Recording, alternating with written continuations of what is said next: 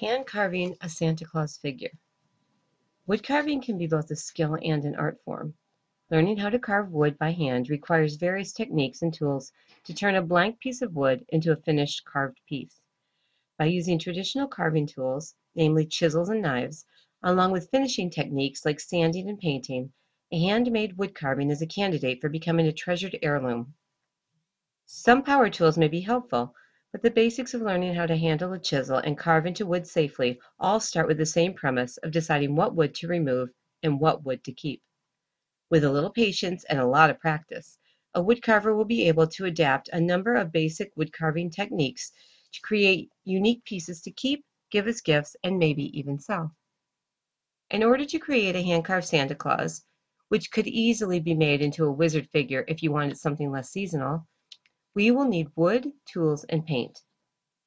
As a side note, sometimes wood carving is referred to as whittling. I think of whittling as using a single blade, even a jackknife, to cut and strip pieces of wood off a block or branch. Whittling can be seen as a form of folk art, and it can also serve as a pastime when folks are sitting around chatting. Carving generally involves additional chisels and more planning for the finished product. Because these terms are occasionally interchanged, Reference books about both whittling and wood carving may be helpful, such as those sold by Schiffer publishers that include wonderful illustrations, tips, and great designs for carvers. Let's start with the basic tools needed to carve. If you do not already have hand chisels, there are many options online and in stores.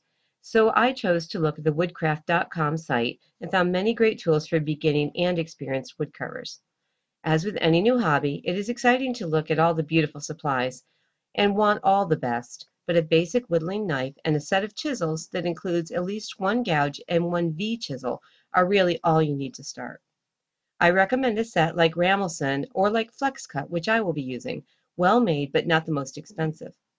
A whittling knife is also needed and should be a decent quality, such as one made by Butts or Murphy, as I have. Knowing how to sharpen tools is an additional skill, and because the knives and chisels will eventually become dull, every carver should have a sharpening stone and learn how to use it properly. I suggest looking at the manufacturer's site or on YouTube for sharpening instructions for your brand of chisels. As far as choosing the right wood to carve, I prefer white pine, but basswood is also a good choice for beginner carvers. These are both soft woods and allow for clean, smooth cuts. Blanks can be purchased at hobby stores, home stores, and hardware suppliers, as well as online. Also, local lumber yards may have wood appropriate for carving, and it may be worth a visit to learn about local wood and availability, especially if you develop a greater interest in carving.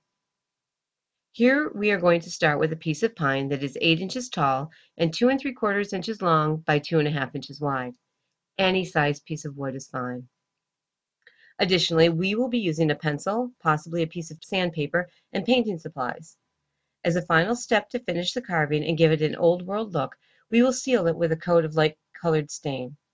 Any sort of paint can be used, but I am using Alkyd paints purchased from Dick Blick's online catalog because these are oil-based yet quick-drying paints that leave a soft and crisp finish. These paints require paint thinner or mineral spirits for cleanup. I suggest using a round number 8 brush to apply the basic paint colors as well as a number 1 size liner brush for the details. As a final step, I seal carvings with a finish coat of stain. I have been happy with results of Minwax Puritan Pine because it seals the carving and accentuates the details without making the whole piece too dark. Once all the supplies are gathered, we must consider a few safety points. First and foremost, the carver must keep in mind that the chisels and knives are sharp and can easily cut the skin. Always cut and carve away from the body. In my demonstration, you may see me carving towards myself, but I have been carving for quite a long time.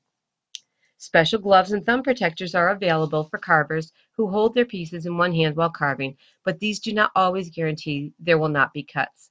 Keep some band-aids handy just in case. If using power tools, it is imperative to pay attention at all times and keep fingers out of the way of blades and moving parts. And if a chisel were to fall from the workbench or out of your hand, let it drop to the ground. Trying to catch a falling chisel could result in a painful slice across a finger or hand. When painting and cleaning, it is a good idea to work in a well-ventilated space and follow manufacturer's directions. Now it is time to sketch the basic shape onto the wood. Because we are working on a three-dimensional piece, it is important to consider all sides when drawing the form on the wood. Use a smooth cut side at the bottom edge, which will allow the piece to stand on its own, and keep the bottom the widest when sketching, forming a triangular shape when looking at the front of the block. From the sides, the top should curve back and the nose should protrude. If you have access to a bandsaw, you can rough cut the shape. Otherwise, it is time to start removing the wood up to the sketched lines with a knife. Cut into the wood and slice away from your hand and body. A vise or workbench can come in handy to hold pieces still while working on a carving. Once the basic shape is formed, draw on the face and outline the clothing, plus indicate where the arms and any other details are going to be. I continuously turn the piece, working not in one spot for too long to be sure to not take away too much wood in one area. Use the V-chisel to cut in details around the face and the beard, Use a gouge or the C-shaped chisel to remove larger areas of wood. When the gouge is held at a steeper angle, a cupped texture remains, which is good near the arms and around the hood. Use a knife to round hard edges and clean the V-cuts as needed. After the whole figure is carved, look at it from all sides to be sure it appears balanced and ready to finish. If the face or cloak has more texture than desired, use sandpaper to lightly smooth those areas. Remember, this is a wood carving, so it is good to have some chisel marks and not sand them all away. If a piece of wood gets chipped off the piece, and if it cannot easily be repaired by carving deeper, wood can be fixed with glue. When ready to paint, apply skin colors first, then the areas of solid colors with the round bristle brush. Let paint set up for an hour or two, or overnight if time allows, because you will most likely want to hold the carving in your hand while painting the smaller details. Paint in the beard and eyes and then consider the rest of the details. The piece can have as few or as many painted decorations as desired. It is always a good idea to sign and date your creations, and this can be on the carving or on the bottom. Allow the painted piece to sit and dry for a day or two, then apply a thin coat of stain to the entire carving with an inexpensive, long bristled brush, and then with a lint-free cloth, gently wipe most of the stain off, leaving stain in the carved grooves and a thin coat for overall protection and coloring.